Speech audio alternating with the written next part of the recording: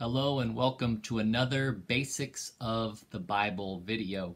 My name is Christopher Scott and if you're new uh, joining me for these videos, there's a series of 75 videos I've been doing going from Genesis through Revelation, uh, giving you introductions to the books and talking about them. So in the description down there at the very beginning is a link to that playlist where you can watch all 75 videos here on YouTube for free. So thanks for joining me in this video, I'm going to specifically talk about Psalms, the book of Psalms.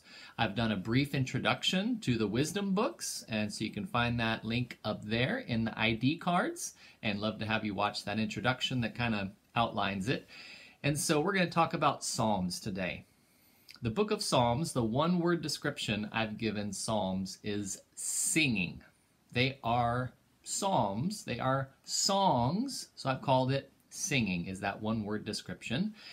And if you look at the Old Testament, we'll do a little review. Um, there are 66 books in the entire Bible, 39 in the Old Testament, 27 in the New Testament.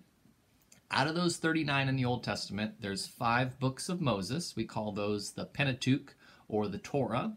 Genesis through Deuteronomy, five books of Moses. Then there's 12 historical books. That's Joshua through Esther. And then there are five wisdom books Job, Psalms, Proverbs, Ecclesiastes, and Song of Solomon. And Psalms is one of those wisdom books. Okay, so the one word description is singing. And there are various authors that have written Psalms. Most of them are by David. About 73 of them, roughly, are written by David. There's some textual variance in the titles that some people have different numbers, but 73 of the 150 Psalms are written by David. Two are written by Solomon, two are written by the sons of Korah. Um, I'm sorry, 12 are written by the sons of Korah, 12 are written by Asaph, um, one was written by Heman, Another one was written by Ethan and one by Moses, Psalm 90. And down there in the notes, uh, the description of this video, I have listings of these and where you can find, you know, the sons of Korah and Asaph, where those guys talked about in the Bible. Bible. I have uh, references for you on those that you're welcome to look up, or you can print those notes out for free that I've provided to you. So those are the authors of the book of Psalms, of the different Psalms that are in there the audience that it was written to is obviously the nation of Israel. To their psalms written to the nation of Israel. Uh, the date that they were written, they're written probably between 1446 BC and 931 BC. 1446 BC is when the Exodus took place. That is when Moses led Israel out of Egypt. 1446 BC.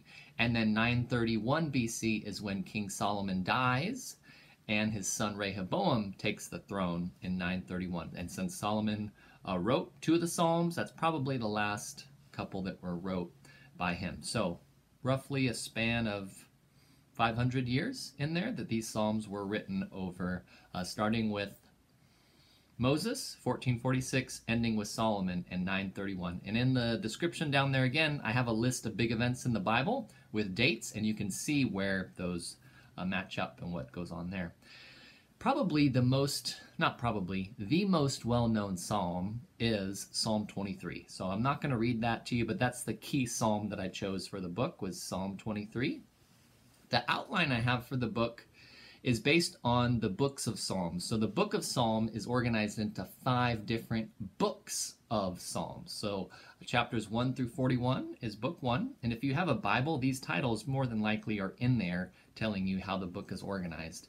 Uh, book 2 is chapters 42 to 72. Book 3 is chapters 73 to 89.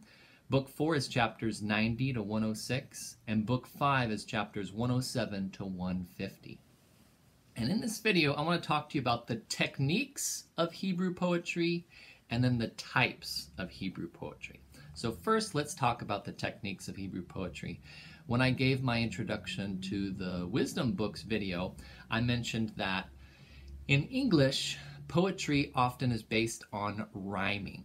So if you've ever read Dr. Seuss or anything like that, you know, that's kind of poetry that's based on rhyming. Some of the more advanced English poetry, like T.S. Eliot, he doesn't really use rhyming at all. It's a little more technical. But most English poetry is based on rhyming. For example, might say, I think today I'm going to buy hay, right? I think today I'm going to buy hay. Or in Green Eggs, you know, in Dr. Seuss, I will eat them in a boat. I will eat them with a goat. I will eat them in a fox. I will eat them with a on a box. You know, those are the rhymings that he uses in Dr. Seuss. But Hebrew poetry is not that way. It's not based on rhyming. It's based on interaction between lines. So the first line will say this, and then the second line says something opposite. The first line says this, and then the second line says the same thing. The first line says this, then the second line um, develops that idea and describes it further. That's one of the types of Hebrew poetry. It's called parallelism. And also a part of Hebrew poetry is that they use um, word order and cadence. So it kind of has the same feel to it as you go through. The words don't necessarily rhyme, but they are parallel together. Now, when that Hebrew gets translated into English, we completely lose it. Another thing that we lose with Hebrew poetry is that the words often might play on um, similar word roots and word plays, meaning um, there's different ways you can use the same words. So they might use the same word in two different sections, but in a different way, and they'll sound different, but when you read it, you'll see that word play. And so again, that gets lost when you're reading it in English, but thankfully we have good Bible scholars that know Hebrew that write great technical commentaries that will pull those things out for us when, when they're important. So with that said, I want to talk to you about the techniques of Hebrew poetry. And I'm going to uh, read the techniques and then give you an example. So this video will be a little bit longer than most of my basics of the Bible videos, but I want to give you real life examples of these techniques and not just tell you theory, if that makes sense. So the first technique of Hebrew poetry, there's really four types of parallelism I'm going to give you. There's more, um, but this is a basic summary. So synonymous parallelism is one type of Hebrew poetry, synonymous parallelism, and that's where the second line repeats the idea of the first line. So as you open your book of Psalms, you'll see um, that they're organized based on lines here, and they break up the lines based on the Hebrew. And so an example of this is Psalms 3:1, where it says, "O Lord, how my adversaries have increased." Line 1. Many are rising up against me. Line 2. The second line is just repeating what happens in the first. That's synonymous parallelism. O Lord, how my adversaries have increased. Many of my enemies are rising up against me. They're saying the same thing. That's called synonymous parallelism. A second type of parallelism, a technique of Hebrew poetry, is antithetical parallelism, where the second line has an idea that is opposite of the first. It's the antithesis. Anti, it's different. So a good example of that is Psalm 1:6. says, "For the Lord knows the way of the righteous, but the way of the wicked will perish." See how they're saying, "But the Lord knows the way of the righteous," line 1, but the way of the wicked will perish. Line 2. Completely opposite. That's antithetical parallelism. Then there's synthetic parallelism, which is kind of similar to synonymous, but with a slight twist. Synthetic parallelism, in the synthetic parallelism, the second line or the succeeding lines add to or develop the idea of the first. So it will take that semi, same idea and add to it, develop it, explain it even more. An example of this is Psalms uh, 1, 1 and 2. Okay, Psalm 1, verses 1 and 2. He says, How blessed is the man who does not walk in the counsel of the wicked, nor stand in the path of sinners, nor sit in the seat of scoffers. But his delight is in the law of the Lord, and in his law he meditates day and night. So that first line, he says, How blessed is the man who does not walk he doesn't walk in the counsel of the wicked. And since he doesn't walk in the counsel of the wicked, he doesn't sit, he doesn't stand in the path of sinners, nor sit with scoffers. But in his delight of the Lord, and in his law he meditates. So it takes the idea that A righteous man doesn't just stay away from wicked people, he actually delights in the Lord. It further explains. That's called synthetic parallelism. A fourth one is called emblematic parallelism, where the second line elevates the thought of the first, often by using what's called a simile. So, an example of that is Psalm 42 1. Psalm 42 1, emblematic parallelism. An emblematic parallelism, the second line elevates the thought of the first, but it uses often a simile to do that. So 42 1.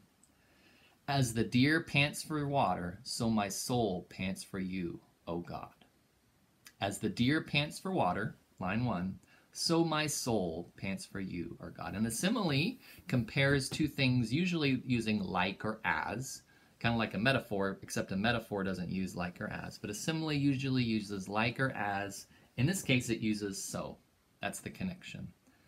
As the deer pants for the water brooks, like my soul pants for you, oh God. It actually says so, but you could change those, all right? So those are the four techniques of Hebrew poetry parallelism synonymous parallelism, antithetical, synthetic, and emblematic. And so those are the techniques of Hebrew poetry, but there's also different types of psalms that you read. Out of 150 psalms, there is a there are a bunch of different types. One type are praise psalms. These talk excitedly about God and they thank him. Praise psalms. Another type of psalms are lament uh, where you plead to God, the person writing the psalm, pleads to God to intervene in a crisis. Some lament psalms are individual and some are community. Some are just for the person writing it, some are for the community um, that they are living in. Another type of psalms are messianic. These are psalms that predict or describe the coming Messiah of Israel, the coming Savior, Jesus Christ. A fourth type of psalms are pilgrim psalms, and these refer to uh, the psalms that Jews sung while they were traveling to Jerusalem for national feast days. Um, they're also called psalms of ascent, A S C E N T, ascent, like they're going up, because Jerusalem is kind of located on a hill, so often you have to go up to get to it. And so they're called psalms of ascent or pilgrim psalms. Those are psalms that they would sing while traveling to Jerusalem. There's also there are also alphabetical psalms. Several um, these are acrostics where each verse or each line will start with a successive letter of the Hebrew alphabet. So for example, if you read a Psalm 119, that is probably the best known one, um, where each you know section starts with a letter, and each verse within that section starts with the letter of the Hebrew alphabet. Alphabet, you know, you know, Gimel, Dalet, things like that. Wisdom psalms are another type of psalms. These overlap with psalms of praise, but have a special emphasis on understanding and our understanding of God. And then last type of psalms out of these seven that I'm giving you are what are called imprecatory psalms. They're often psalms of prayer that can be called oracles of judgment against another nation or another ruler, and it's asking for God's justice to prevail and to overthrow those rulers. Okay, and in the description down there, I've given you um, a description of these psalms and then references so you can look up the different types of psalms as well. So, one more thing to share with you before we go. This is going to be the longest basics of the Bible video I've done thus far. I want to share with you the name of Psalms because I think that's important. The title, the book of Psalms in our Bible. Where Bible, where do we get that name?